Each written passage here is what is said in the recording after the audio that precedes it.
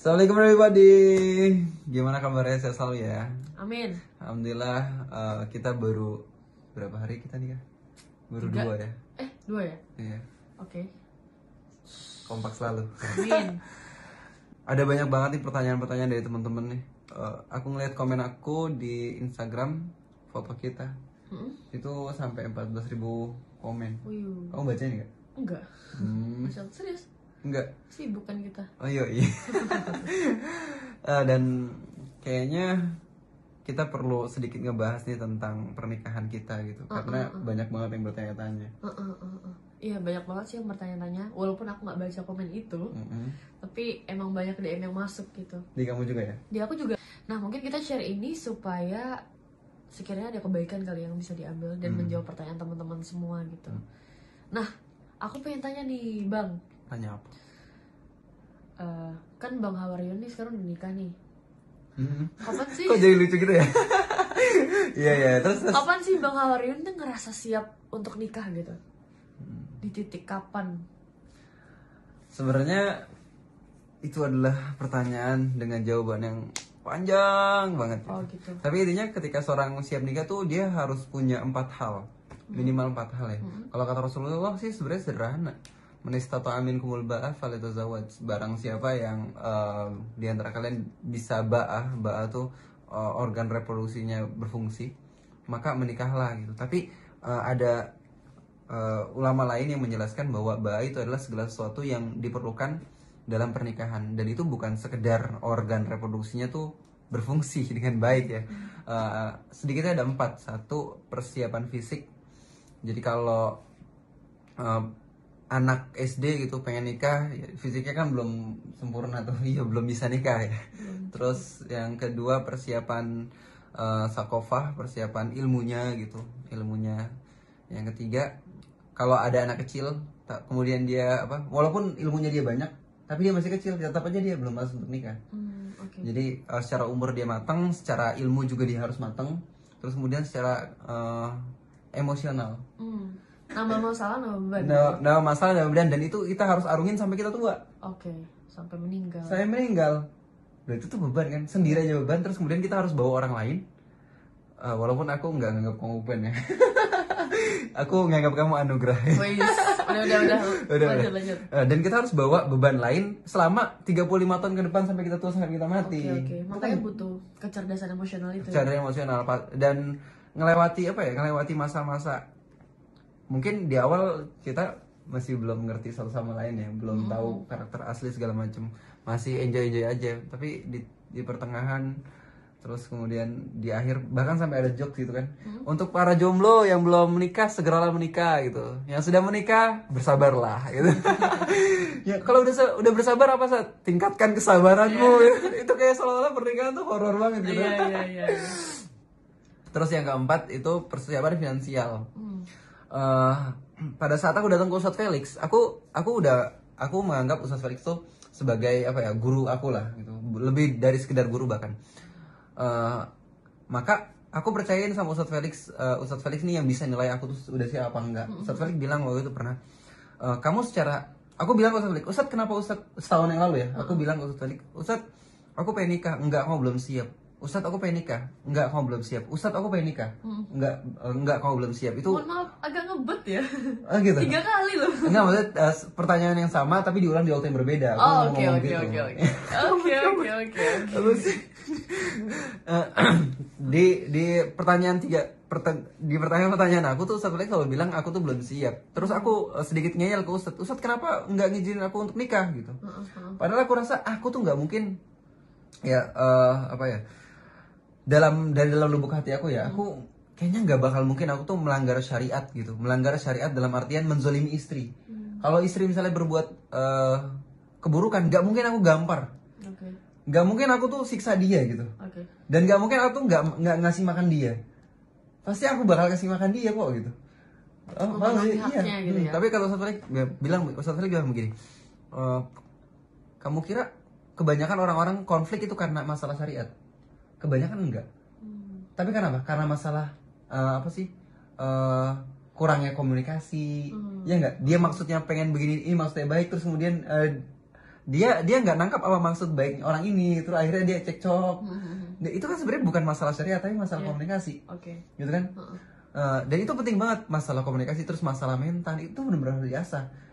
Eh, terus dan yang paling penting yang kau belum punya apa finansial gitu. Iya saya pernah iya saya saya, saya ngelihat kamu memang sudah eh, matang secara fisik terus kemudian kamu juga matang secara eh, sakofah gitu terus kemudian eh, emosional kamu sudah mulai terbangun.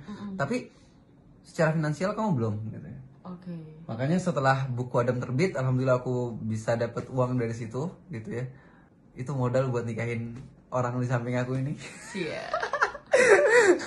Easy abis oke Nah, jadi eh, indikator siap nikah itu ketika kamu tuh sudah memenuhi empat ini, gitu ya. Eh, apaan? apa Kedewasaan, maksudnya secara umur, terus kemudian secara sakofah, secara emosional, kemudian secara finansial. Walaupun finansial ini nggak harus kamu tuh harus punya rumah dulu, nggak harus punya pekerjaan tetap dulu gitu ya.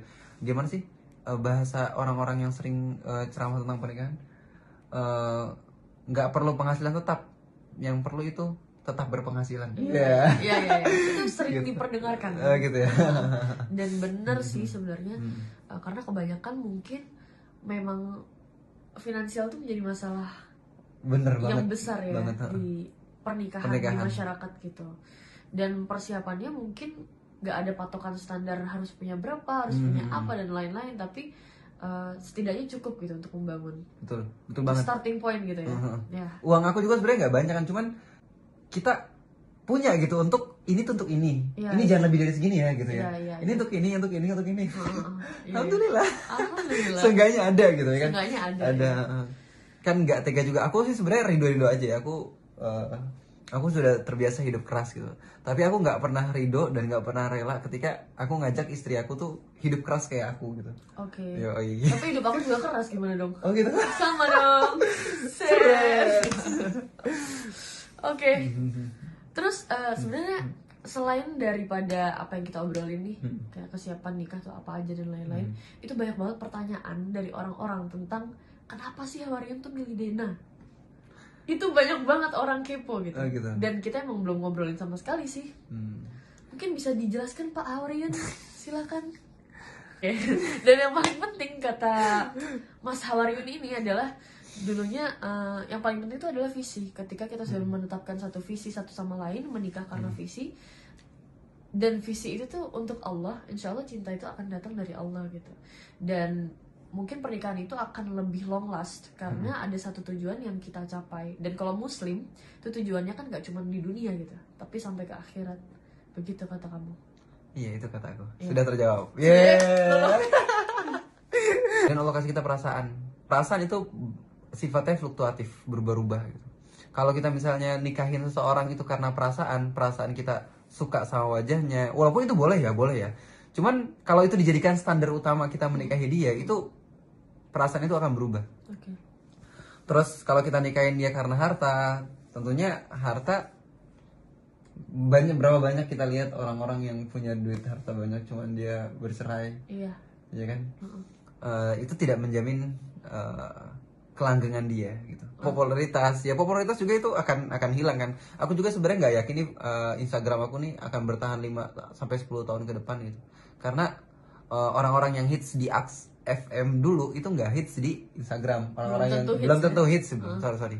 Eh, orang-orang yang hits di Twitter belum tentu hits juga di Instagram. Jadi mungkin ketika media sosial bergeser, ayah aku juga nggak terkenal lagi, nggak bisa terkenal lagi. Dan kalau itu menjadikan satu-satunya tolak ukur kita menikahi dia, ketika jabatannya atau popularitasnya hilang, kita hilang juga dong cintanya. oke Ya kan? Maka harus ada sesuatu yang lebih dari itu. Hmm.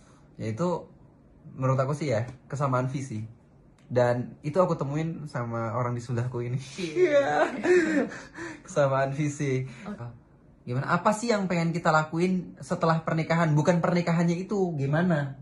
Oke, oke. Jadi nggak? bukan hari H, tapi Bukan hari H, tapi setelah. se- hari setelah hari H. Oke, ya, ya, ya. Ya, eh, makanya pada saat taaruf sama kamu kan aku bilang eh, gimana kalau plannya kita nanti ngelakuin ini ini Iya, iya, mau nggak iya. diarahin sama ini gitu ya, kan? ya, ya, ya. Gitu Kita, kan? ya, kita sebelum sebelum memantapkan untuk nikah, pas taaruf juga kita udah nyusun skema dakwah ya. Skema dakwah. Tapi itu ketika kita udah yakin sama tu- satu sama lain sih. Hmm. jadi yakin dulu terus menentukan skema dakwah makin yakin udah nikah deh. Yeay apa sih? Jadi kenapa aku nikahin Dena? Eh, karena aku ngerasa aku punya eh, partner yang satu visi sama aku. Dan Dena juga punya sesuatu yang gak aku punya. Beda banget karakter kita serius. Iya. Eh, ya kan? Iya. Ah, beda. Dan aku rasain itu sih. Iya sama. Dan pas taruh aku ngerasa ih dia bisa banget ngelengkapin kekurangan aku gitu. Gitu sama sih. Sama ya. Tas. Kebanyakan tosnya kita. Oke itu aja jawabannya iya karena visi gitu. Hmm. karena sesuatu yang fisikal. fisikal itu nggak lebih penting dibandingkan sesuatu yang non fisik oke. Apa tuh? Fisikal tuh seperti apa dan non, dan non fisik tuh seperti apa? Hmm. mungkin nggak kebayang gitu di orang-orang. Oh gimana ya jelasinnya ya? Eh, dulu aku pernah ke Turki teman-teman. Sih Cie, kamu juga pernah kan? Iya, di Turki itu masjidnya besar-besar gitu. Eh, ya jelas ya, eh, Turki itu kan bekas eh, kehilafahan Islam yang terakhir. Jadi peradabannya luar biasa, masjidnya besar-besar. Dan yang aku sedih tuh, ketika aku masuk ke dalamnya, itu yang datang tuh sebaris dua baris gitu. Padahal masjidnya indah banget, karpetnya luar biasa, terus lampu-lampunya eh, bercahaya luar indah banget lah pokoknya. Tapi orang yang ngisi di dalamnya tuh sedikit gitu. Padahal fisiknya bagus gitu, ya enggak? Berarti sesu- eh, apakah sesuatu yang kalau fisiknya bagus, apakah eh, menjamin isinya bagus? Belum tentu. Enggak juga. Tapi kalau dalamnya bagus, insya Allah fisiknya itu bisa dibangun. Hmm. Nah sekarang kalau kita lihat nih, misalnya kalau ada orang-orang, eh, kalau kita ke masjid kemudian ada dua kotak amal, Eh, yang satu eh, infak untuk pembangunan masjid, yang satu infak untuk program masjid. Kira-kira lebih banyak mana yang eh, cepet ter- isi diisi penuh? pembangunan Pembangunan. Padahal Prioritas. yang lebih penting adalah program programnya, ya kan? Kalau misalnya oh, pro- eh, masjidnya bagus, udah direlok segala macem gitu ya. Terus kemudian gak ada programnya, ya buat apa masjid bagus-bagus, ya kan? Tapi misalnya kalau programnya jalan, aktivitasnya banyak di situ, anak muda pada nongkrong di situ, kemudian anak-anak juga pada ma- main di situ, ada TPA-nya, ada taklimnya banyak gitu, pasti kebangun, apa bangunannya ikut terbangun juga oke. gitu. Jadi kalau misalnya di Pernikahan, apply nggak di apply ke mungkin konteksnya wanita ya Ah. kan bang Ah, iya benar. Ah, laki-laki ah. ya. konteksnya wanita kalau di apply itu percuma mereka make up skincare dan lain mempercantik fisiknya tapi uh, mereka mungkin nggak punya visi gitu isinya benar Isinya. isinya, heeh. kalau di dalam Al-Qur'an Allah bilang kan eh, fankihu ma tobalakum minan nisa jadi kalau dalam bahasa Arab ma itu artinya apa? Kalau man itu artinya siapa? Oke. Jadi fankihu ma Allah bilang fankihu ma bukan fankihu man oke. Nikahilah apa gitu bukan nikahilah siapa. Jadi eh, aku oke, nikahilah apa yang ada dalam diri dia? Dia bisa apa? Dia punya apa? Apa visi dia? Gitu. Bukan siapa dia seperti apa bentuknya? Wajahnya seperti apa? Matanya seperti apa? Hidungnya seperti apa? Seksi enggak? Gitu. Bukan itu. Oke. yang Allah suruh ke kita tuh untuk memperhatikan apa yang ada pada diri dia. Siap siap siap. Inner ya. Inner, Yoi, inner. Yoi. ah aduh oke oke oke Iya ya paham paham. Jadi ketika orang itu sudah bisa menentukan visinya, mau seperti apa pun rupanya, Mm-mm. ada inner beauty yang bisa di betul gitu ya, muncul gitu ya. Ya ya, I got it. Ya. Udah, itu aja. Itu Iya. udah menjawab semua sih. udah jauh semua masa aku ulang sih intinya Enggak, enggak. intinya kenapa aku milih dia karena eh, cewek sebelah aku ini Apaan sih? Karena cewek sebelah aku ini dia punya kesamaan visi sama aku Mm-mm. dan dia punya karakter yang bisa nutupin kekurangan aku gitu Oke, sip sip sip sip.